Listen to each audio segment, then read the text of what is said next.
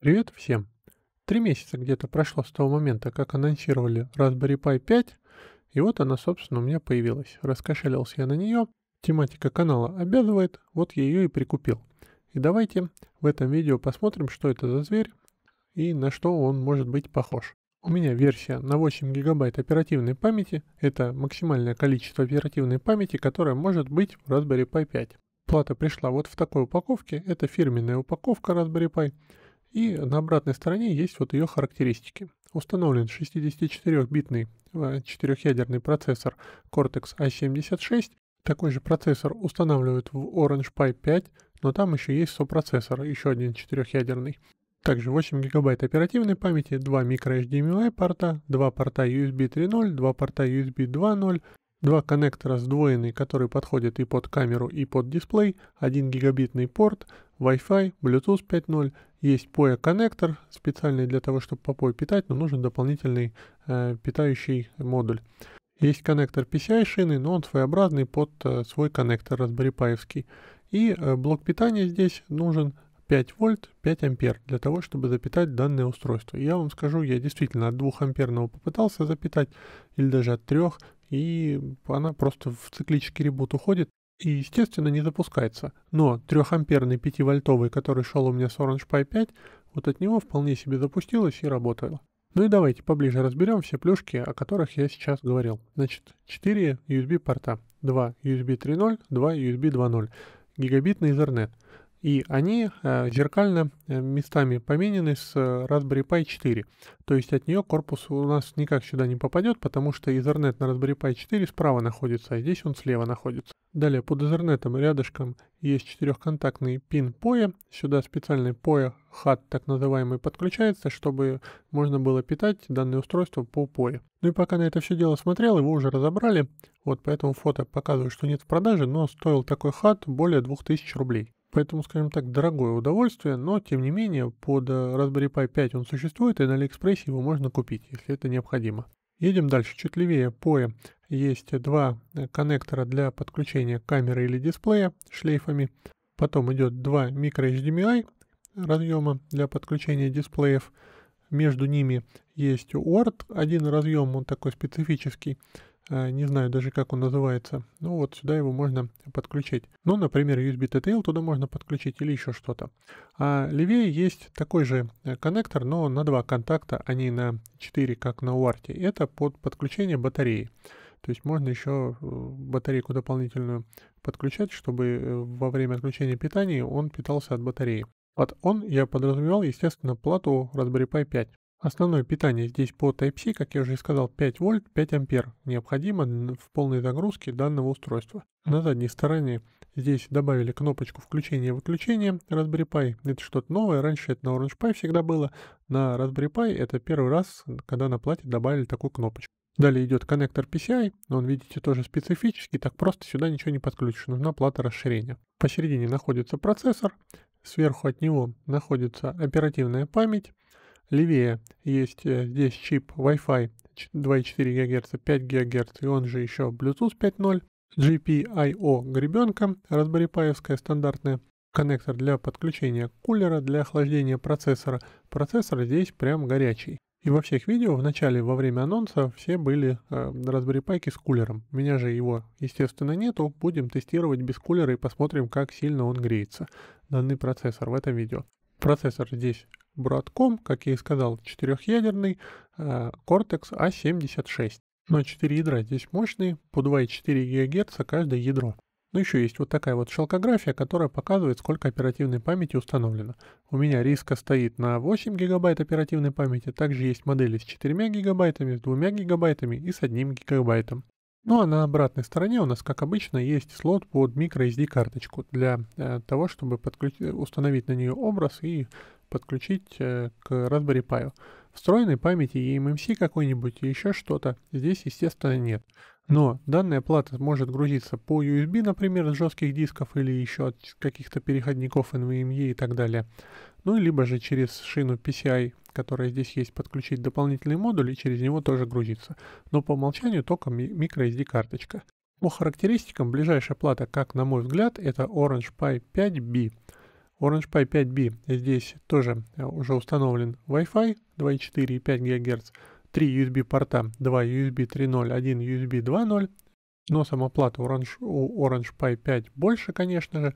Оперативной памяти здесь у меня столько же, но здесь еще есть встроенная eMMC память на 64 гигабайта. В Raspberry Pi такого, естественно, нету.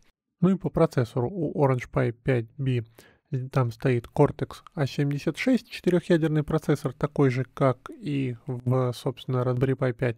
Но еще стоит дополнительный четырехъядерный процессор Cortex A55, который каждое ядро по 1,8 ГГц. Чуть слабее, но тем не менее. Это хороший такой буст. Если уж, конечно, сравнивать эти платы по характеристикам, по мощности, то, наверное, вот э, такие платы. То есть Raspberry Pi 5 и Orange Pi 5B. Образы для Raspberry Pi устанавливаются через программу специальную Raspberry Pi Imager. Значит, здесь сначала выбираем, на какую плату мы хотим установить образ. Выбираем Raspberry Pi 5. Здесь выбираем операционную систему, которую мы хотим установить. Не надо даже image образы скачивать, она вот здесь уже есть. Raspberry Pi OS будет последней версии. И выбираем здесь, э, на какую флешку мы хотим это записать. В изменении параметров, если нажмем, то здесь мы можем сразу задать логин, пароль для учетной записи, которая создастся в этой операционной системе, которая установится на Raspberry Pi 5. Значит, вписываем какой-нибудь пароль. Далее э, сразу же можем выбрать э, подключаться к Wi-Fi сети какой. Я выбрал свою домашнюю сеть. Можно выбрать еще регион, в котором вы находитесь, и язык. Ну, стоит по умолчанию Москва и английский язык. В службах э, включить сразу службу SSH можно, она по умолчанию выключена, и так просто вы не подключитесь, поэтому ставлю галочку «Включить». Ну и во вкладке «Параметры» здесь есть галочки «Извлечь носитель после завершения», воспроизвести звуковой сигнал, ну, в общем, какие-то игрушки. Здесь мы ничего не трогаем, оно нам не интересно. Значит, в общих настраиваем учетную запись и в службах включаю SSH, потому что я всегда подключаюсь к микрокомпьютерам по SSH. Когда все параметры верно ввели, нажимаем «Да». Далее у нас предупреждение, что отформатируется SD-карточка, соглашаемся с ним, ну и дожидаемся окончания загрузки образа. После загрузки я подключился по SSH к Raspberry Pi, ну и сразу же смотрим, что у нас тут имеется. Командой lsblk я открыл, какие устройства памяти у нас здесь есть, но здесь есть только флешка на 32 гигабайта, если ввести HTOP, то здесь мы увидим характеристики э, нашей системы. Это четырехъядерный процессор и 8 гигабайт оперативной памяти. Это диспетчер задач, так называемый. Ну и давайте этот носитель флешку MMC BLK 0, который э, протестирую на скорость записи. Тестирование скорости я буду производить командой HDParm. Предварительно я ее установил уже на эту операционную систему. Нажимаю Enter – и у меня сейчас, э, собственно, покажет скорость чтения и записи. Итого получается 84 мегабайта в секунду. Это довольно-таки много. На самом деле у меня обычно на Orange Pi всяких платах у меня гораздо меньше скорость, там где-то 24, 25, вот так вот, а тут прям 84-85 мегабайт в секунду, это прям сильно. Далее я подключил через переходник э, в USB 3.0 э, NVMe диск, у меня есть специальный переходник, и через провод э, Type-C я подключил, и вот он определился как SDA диск. И давайте вот его сейчас проверим, сколько он, э, какую скорость он покажет. LS USB, если вот открыть, называется вот J-Micron. Этот мой переходник на NVMe, то есть он PCI Gen 3X2 называется. И вот этой командой снова, э, которую мы тестировали сейчас, э, microSD карточку, теперь тестируем SDA разъем, и получается 10 мегабайт в секунду. То есть, ну, согласитесь, это совсем какой-то трэш, очень мало. И теперь проверяю еще раз. И данная скорость теперь 36 мегабайт в секунду. Тоже очень мало. Меньше, чем microSD карточка. Но это ни в какие ворота не лезет, и это еще USB 3.0. Но я решил, что что-то здесь не так. Может быть, у меня переходник NVMe какой-то, э, ну, жутко медленный, потому что тоже на Алиэкспрессе его заказывал, да, неизвестно, какой чип там установили. В общем, решил просто микро, точнее, обычную USB-шную э, флешку USB 3.0 подключить. Она у меня от э, компании Transcend Jet Flash. Вот и решил ее проверить, какая у нее скорость. Она на 32 гигабайта у меня тоже определилась как SDA флешка. Нажимаем Enter, проверяем ее скорость. И скорость 40 мегабайт в секунду. В принципе, тоже мало. Ну, я что-то не знаю, это какой-то не USB 3.0, а непонятно что. И значит, что я сделал? У меня в USB 3.0 э, в первый слот был вставлен э, USB-свисток от клавиатуры. И вот с ним, как оказалось, такая маленькая скорость. Я его потом переткнул, эту флешку, в первый слот USB 3.0, и здесь совершенно другую скорость начал показывать. Вот видите, 91 мегабайт в секунду. Это я потому что убрал USB-свисток. Проверяем еще раз. И 88 мегабайт в секунду. То есть уже вот в два раза больше скорость. Я тогда решил, ладно, поставлю опять NVMe-шный переходник. Вот я его сейчас поставил. Видите, здесь два диска SD1 и SD2, а на флешке было 4. Переткнул его, вот он получается в первом порту. Это J Micron. И давайте теперь проверим с его скоростью. Я еще поменял на более толстый провод э, Type-C. И здесь, вот смотрите, разница уже какая. Здесь скорость 364 мегабайта в секунду. Ну, то есть там было 40-33 мегабайта в секунду, здесь 364, просто небо и земля. И потом я уже вставил и во второй USB-порт, в который изначально вставлял, и тоже скорость такая же высокая. То есть проблема действительно была в USB-свистке. Не знаю по какой причине, но с ним прям резалась по шине USB 3.0 скорость конкретно. В общем, вот такие вот дела, ребята. Поэтому имейте в виду, всякие устройства, которые вставлены в USB, иногда очень сильно скорость режут. Ну и последним делом, которым я решил проверить, я просто взял тот же переходник NVMe-шный и вставил в USB 2.0. Ну, просто ради интереса все вытащил, оставил один только переходничок и посмотрел его скорость. И эта скорость как раз равняется тем показателям, которые были изначально в USB 3.0, 36 мегабайт в секунду. То есть э, USB-свисток превращал USB 3.0 в USB 2.0, как бы это странно не звучало. Так, ну со скоростью вроде бы разобрались. PCI-шину я здесь проверить не могу. У меня нет никакого переходника, чтобы подключить какую-нибудь NVMe-шку к шине именно PCI. Поэтому остановимся на скорости USB 3.0. Скорость действительно шикарная. Большая, высокая. И, в принципе, можно через вот такой вот переходник, которым я NVMe подключал, э, какую-нибудь операционную систему устанавливать, она будет у нас летать на 365 мегабайт в секунду. После тестирования скорости носителей давайте протестируем собственно, работу процессора. Итак, вот этой вот командой я сейчас проверяю, какая температура процессора. 46 градусов. Это вот в простой, в принципе, мы ничего не делаем сейчас с нашим процессором. Скорость 46 градусов. Итак, далее. Произвел тест Sysbench. А, взял 20 а, тысяч эм, задач на 4 ядра. Запустил и решились они за 2,4 секунды. Это очень большой результат, в принципе, но Orange Pi 5 показывала такой же результат. Она на тех же ядрах, на том же Cortex A76 показывала примерно столько же. 2.2, 2.4, 2.6 скорость. То есть примерно все одинаково. То есть действительно процессы одинаково работают. А вот тот же какой-нибудь Orange Pi 3B, да, там за 10 секунд данные э, действия исполнялись. То есть здесь прям в 4 раза быстрее получается. А теперь проверим э, температуру процессора. Я сделал небольшой скрипт, который при запуске будет нагружать систему в течение двух минут, и температура процессора должна увеличиваться будет. Итак, скрипт выглядит следующим образом. То есть тоже э, я буду нагружать процессор командой sysbench, а на те же 20 тысяч задач будет производить на четырех ядрах в течение 120 секунд. И э, это, в принципе, будет э, все зациклено. Это нужно для того, чтобы э, процессор загрузить и заодно посмотреть, какая будет температура. Процессы будут на 100% сейчас загружены, поэтому давайте я этот скрипт сейчас запущу и посмотрим, какая температура у нас будет при максимальной загрузке. Итак, запустил скрипт, ну и во втором окне теперь проверяю температуру. И вот видите, 62, 64 градуса, 65, 67. И все вот очень быстро в реальном времени, я сейчас не перематываю, увеличивается температура процессора. 71 градус, 72, 73, ну это просто кошмар какой-то. И вот э, я даже боюсь ее оставлять, насколько она вот подымется.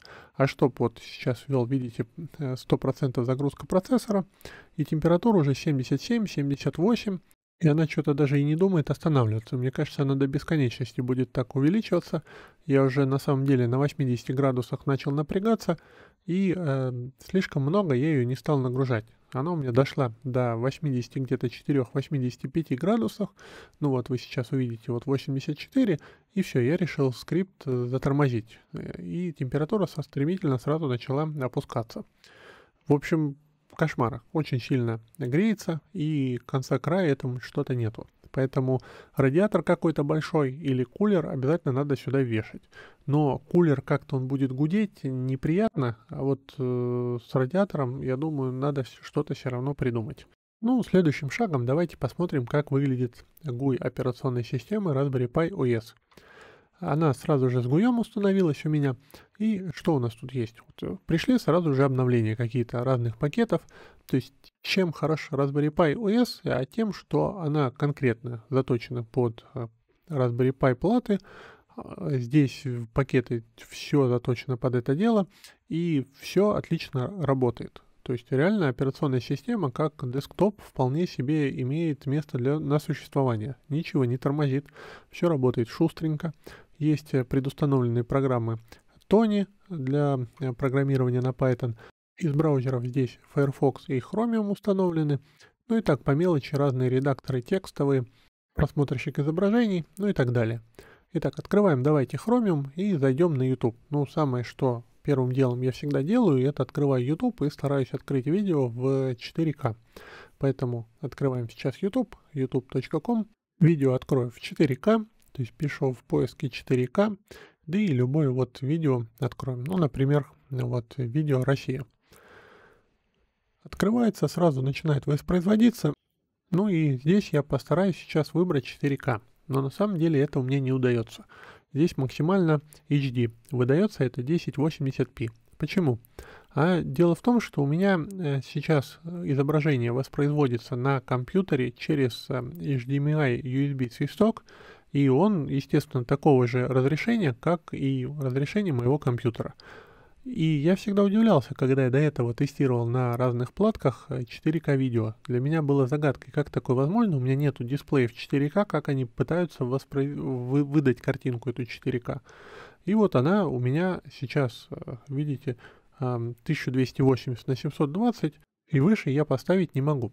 То ли это зарезано системой, но я грешу на то, что это вот все-таки USB HDMI мой свисток, вот из-за него он воспри... воспринимает его правильно, понимает, что это его максимальное разрешение, поэтому выше этого разрешения ничего не ставит. Но тем не менее, даже с этим разрешением, э, в принципе, пакетов не дропается ничего, но только в самом начале, когда мы только запускаем видео. Но это стандартно, это не берем в расчет.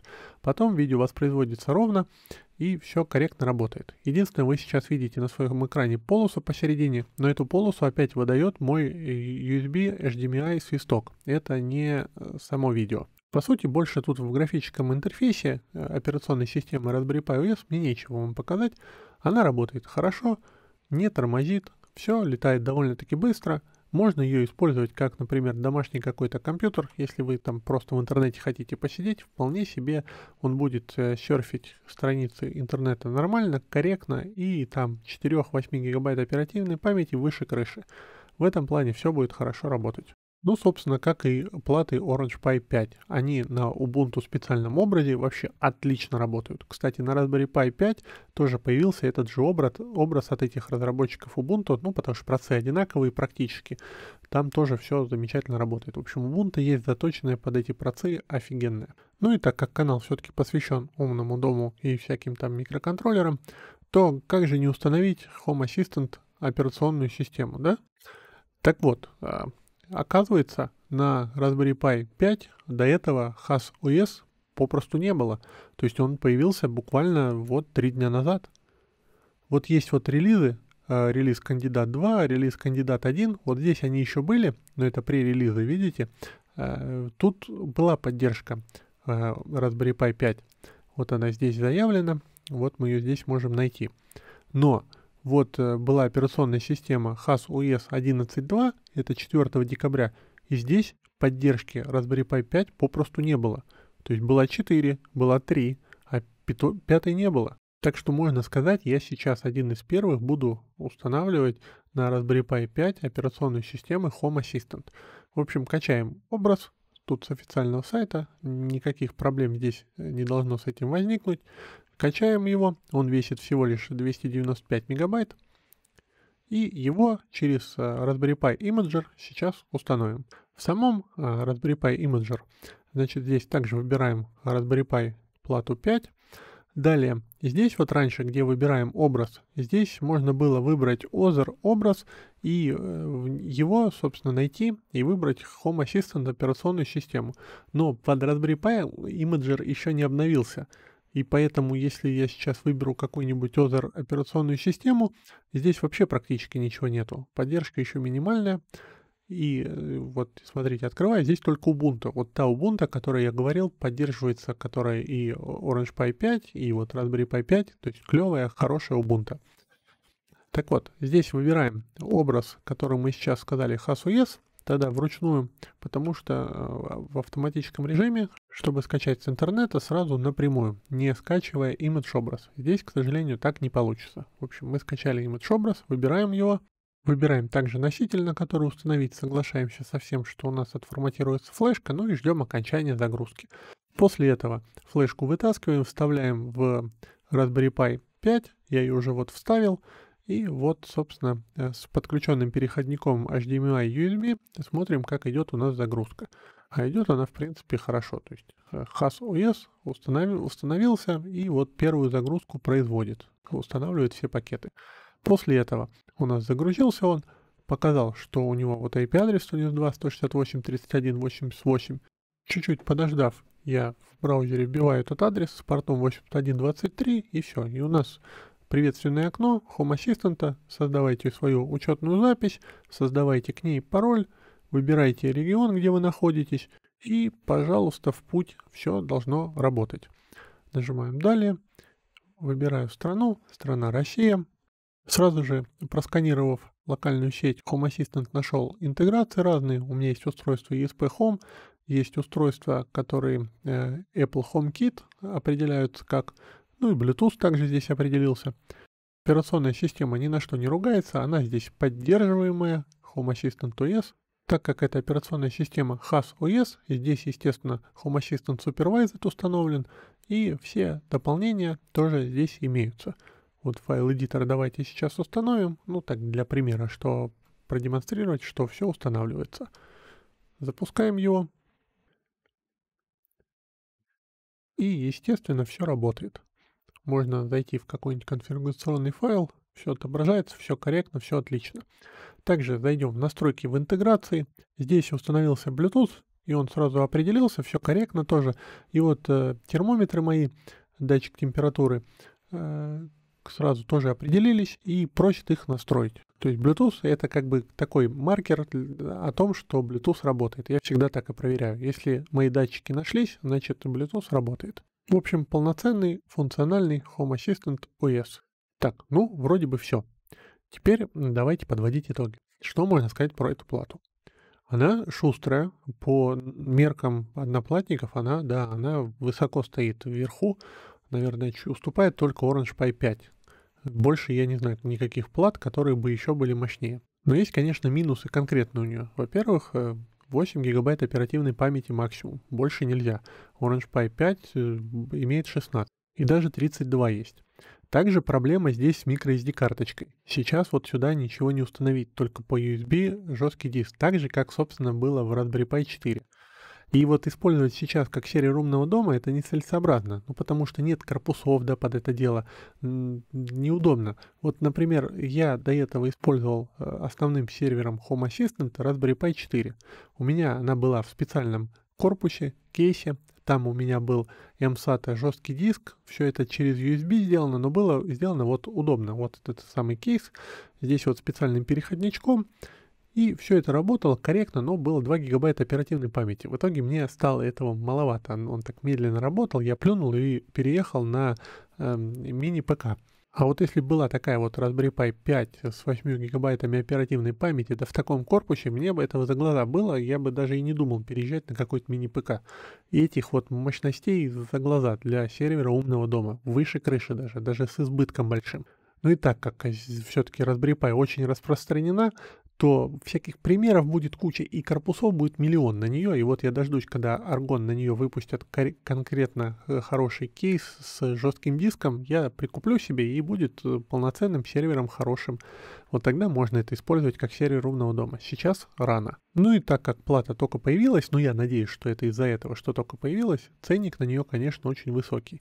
Надеюсь, э, она в скором времени упадет, потому что Orange Pi 5 с такими же характеристиками дешевле стоит.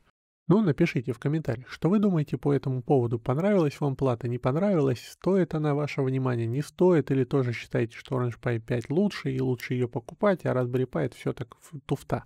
Но примеров будет миллион на нее, вот еще ради этого я ее взял, потому что будут разные прикольные примеры, 100%, да, которые на ней будет проще показать, чем его переделывать на другой одноплатник. Я нашел э, Raspberry Pi более-менее по низкой цене по сравнению с другими лотами на AliExpress. Ссылочку в описании оставлю, поэтому если кого-то интересовало, переходите и заказывайте.